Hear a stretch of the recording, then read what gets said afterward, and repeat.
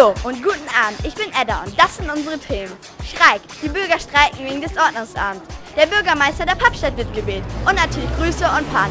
Und jetzt viel Spaß!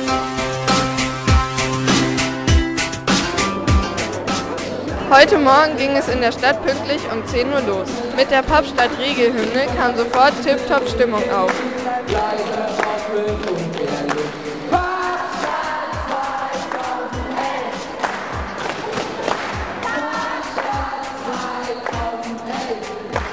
Dann haben wir, das Papp-TV-Team, uns vorgestellt und unsere erste Sendung präsentiert.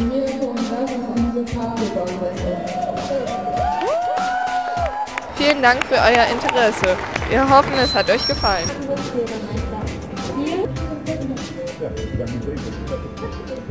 Hallo, ich bin Mirko. Ich habe ein paar Besucher interviewt und gefragt, was sie von der Pappstadt halten. Und nun Film ab. Ähm, wie heißen Sie? Uwe. Und Sie? Stefan. Ähm, wie gefällt Ihnen die Pappstadt? Ja, also wir sind jetzt das erste Mal hier und ich muss sagen, echt toll. Riesengroß, also so haben wir uns das nicht vorgestellt. Ne? Das finde ich positiv. Klasse. Sehr umfangreich, viele Stände, alles unterschiedlich. Gutes Konzept. Ja, gutes Konzept und klasse. Und tolles Ordnungsamt.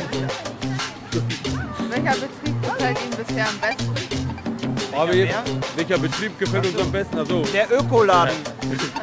ja, der Ökoladen. Also der, der, muss ich auch sagen, der ist also hegt sich, ja, zukunftsorientiert. Da Äh, wollte ich das Design. ja. Möchten Sie noch jemanden grüßen?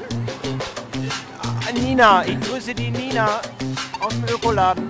Ja, ich auch. Danke für das Interview. Ja, gern geschehen. Ja, bitte. Hallo, ich bin Fine und jetzt seht ihr ein Video, in dem der Streik der Pappstädter gezeigt wird. Außerdem seht ihr ein Interview, in dem wir das Orga-Team und das Ordnungsamt befragt haben. Hallo und herzlich willkommen zu unserer neuen Internetshow. Also, hier ist ein ganz wichtig- wichtiger Streik. Das ist lebensbedrohlich hier. Aber ich, ich finde das wichtig, dass das es gibt. Los, wir streiten mit. Entschuldigung, Entschuldigung, wieso Wieso streiken Sie? Wieso streiken Sie? Wieso streiken Sie?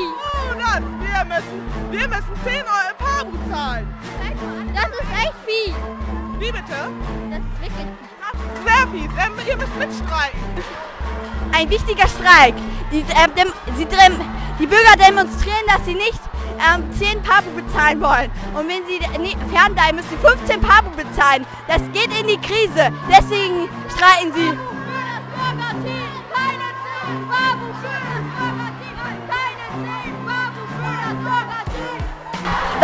Finden die das so schrecklich, dass es äh, das für den Orga-Team? Also ich finde das auch bescheuert, wenn man denkt, dass es gleich 10 pa äh, 15 Pabu bezahlen wird. Ja, aber wir brauchen kein Orga-Team zur, zur Beratung. Unser Museum, das funktioniert so. Und die meisten Betriebe haben Betriebsberater. Da brauchen wir nicht noch eine Beratung vom Orga-Team. 15 Pabu, das ist unverschämt.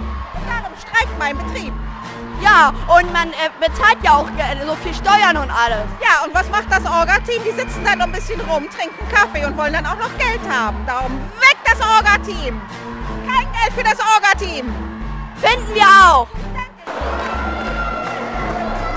Hier sitzen alle und demonstrieren gegen das Orga-Team. Also, schaut es euch an. Wir machen das jetzt so. Wir ziehen diese Forderung erstmal zurück. Ihr braucht erstmal nicht bezahlen.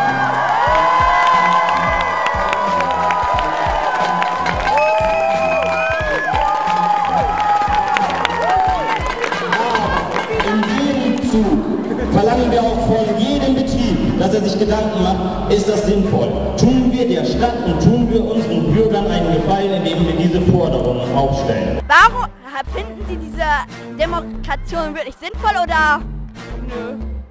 Und warum finden Sie das nicht sinnvoll? Ist das nicht. Wieso macht ihr das überhaupt, diese 10 Pabu oder 15 Pabu, wenn die nicht kommen? Keine Ahnung. Ja, aber Sie sind doch Mitarbeiter, das, die müssen das doch wissen. Ich bin sogar Chef. Ja, Sie müssen das trotzdem wissen, wenn Sie Chef sind. Hallo? Ja, hallo. Ich habe so einen verdammten Zettel gekriegt. Was für eine Frage nochmal? Finden Sie das wirklich sinnvoll? Keine Ahnung, kann ich nichts zu sagen. Aber Sie sind doch der Chef. Ja. Ich kann da nichts zu sagen jetzt auf die Stelle. Ja, aber Sie haben das doch mit Ihren Mitarbeitern besprochen. Tut mir leid, ich kann aber nichts sagen irgendwie. Also, wieso habt ihr diese Forderungen und Regeln bzw. Strafen aufgestellt?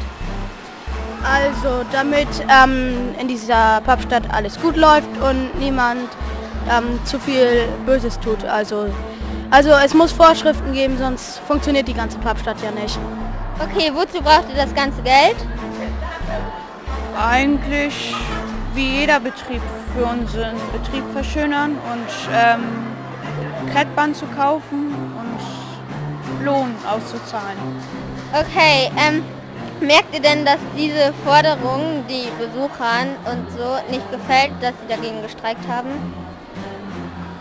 Also an Besucher, denen nehmen wir kein Geld ab, weil das wäre ja gemein, weil die müssen dafür ja auch noch Euros bezahlen für die Pabus.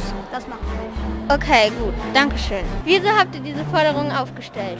Wir haben diese Forderung aufgestellt, weil wir finden, dass ähm, ganz viele Kinder hier ganz, ganz viel verbieten und wir wollten den Kindern zeigen, dass es so nicht geht. Okay, unter welchen Bedingungen zieht ihr diese Forderung zurück? Dass die Kinder sich überlegen, dass es vielleicht mit weniger Regeln gehen. Okay, habt ihr noch mehr Forderungen oder hättet ihr noch mehr Forderungen? Wir haben noch ein bisschen was im Petto, aber das äh, kommt auch dann darauf an, wie die Kinder das mit den Regeln jetzt künftig handhaben werden. Okay, was würdet ihr mit dem Geld verdienen oder machen wollen? Das wäre dann ja unser Lohn, den wir dann ja wieder bezahlen müssten, um die ganzen Strafen zu bezahlen. Okay, danke. Dann zurück ins Studio. Hey, ich bin Jan. Ihr Pappsteller konntet wieder Grüße verschicken. Wer grüßt, seht ihr jetzt. Du willst jemanden grüßen? Ja, Wen denn? erstmal Jolina und Laura sind. Und von Jolina, die Schwester, die hat heute Geburtstag und wird 15, die kommt auch gleich noch und hilft ähm, beim TV-Studio mit. Cool. Okay, danke schön. Ich möchte einmal Marie Robben grüßen. Ja. Und einmal meinen zukünftigen Ehemann, und zwar Mareike. Ich liebe dich. Buri. Cool. Wen noch? Meine Mutter. Cool. Noch mehr? Atem. Ja, ich möchte ganz herzlich ähm, Karin und Kira grüßen, die aber leider nicht bei mir sind, weil wir das nicht konnten und ähm, alle, die bei mir arbeiten. Ja, alle, die hier das vorbereitet haben und meine Eltern. Halt. Und jetzt seht ihr noch Werbung. Und morgen seht ihr in dem tollen Pappstadt-Kino Fußball und einen Ritterfilm. Außerdem gibt es im Kino eine Märchenstunde und selbstgemachtes Popcorn und Salzersoße. Und zum Trinken frisch gemachten Apfelsaft aus dem GFZ, Zentrum für Generation. Hallo, wie heißt du? Ich heiße Soran Garic. Okay, in welchem Betrieb arbeitest du? Ich arbeite im Supermarkt Baumarkt. Hanna Schreiber. Ähm, ich heiße Jolina. Marie, Laura. Viola. Kira. Mara. Deborah. Helena. Sarah. Alexander, Luca. Okay, in welchem Betrieb arbeitest du? Ich arbeite im Supermarkt Baumarkt. Krankenhaus. Ähm, ich, also wir sind Optiker und Juwelier. Modelabel. In der Molkerei. Kino. Okay, Wie gefällt es dir dort? Mir gefällt's toll. Warum? Ähm, weil ich die Chefin bin und das macht auch Spaß. Ja. ja, mir auch. Ja, wir haben viele Aufträge. Äh, weil das viel Spaß macht, Klamotten zu designen. Ja. Sehr.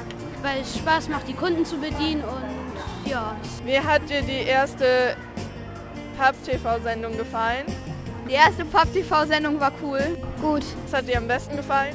Die Pannen. Ja, ich fand die Pfannen auch besonders witzig. Ich fand's sehr lustig. Also ich fand die sehr lu- lustig und ja, ich freue mich, wenn wir morgen wieder eine sehen. Die Pannen. Die Pannen. Ja, die, ja. Also die Pan. Ja. Okay, danke. Jo, jo, und jetzt kommen die Pannen. Und Grüße. Euer Tantenbau-Team. Werbung.